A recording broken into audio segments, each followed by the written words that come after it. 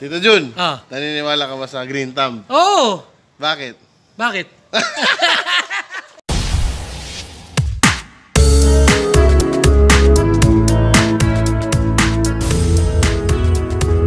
Yo! What's up mga kagulay? Nandito ako ngayon sa aming faculty room. Ah, may break kami, lunch break. Ah, topic natin, totoo ba na may green thumb? So magtatanong tayo sa mga iilang nandito kasi nagpapahinga kami. Ah, okay. Una natin, Sir Mike, Sir Mike. Uy, ano yun? Totoo ba na may green thumb? Meron, green-minded lang. Green thumb? Ay, meron, meron, meron. meron. Meron, totoo daw. Okay. Okay, next. Sir Bjorn, totoo ba na may green thumb? Wala! Wala. Okay, wala daw. 1-1. Next natin tatanungin. Sir Nash, Sir Nash, totoo ba na may green thumb?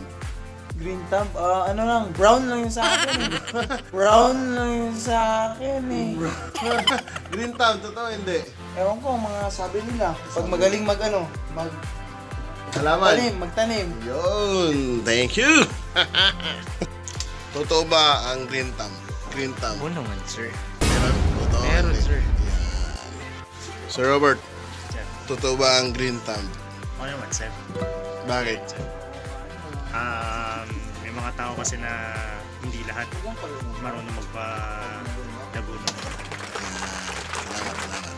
Tito Jun, Ah. naniniwala ka ba sa green thumb? Oo! Bakit? Bakit? Si Sir Red Dragon Rider. Sir, meron ba ang green thumb or wala? Hindi Green- ko alam eh.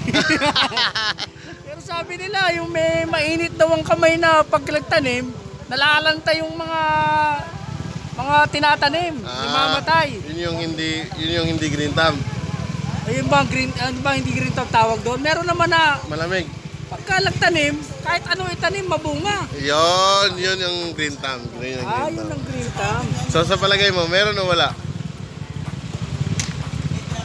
Sa palagay ko, itong kasama ko, green thumb ang kamay nito. Yun. Okay, maraming salamat. Mabunga, mabunga. Salamat.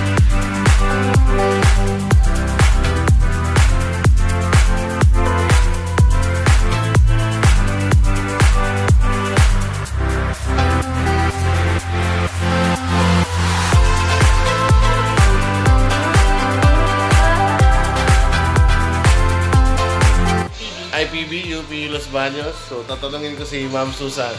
Ma'am Susan, naniniwala ka ba na may green thumb? Yes, naniniwala ako na may green thumb tulad mo na talagang in-expose mo ang sarili mo na pagtatanim. Na kita namin ang iyong farm na talagang ganda-ganda kami na sinunod mo lahat ang ah, napag-aralan mo dito sa amin sa UPLB. Kaya ikaw ay may green thumb. Dahil sa dami-dami ng aming naging trainees, ikaw lamang ang nakakasunod sa amin. Yan. Maraming salamat po, Ma'am Susan.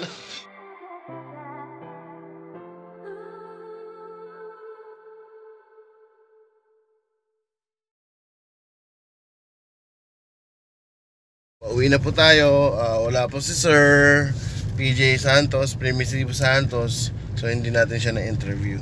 Okay, so, bye-bye. Thank you.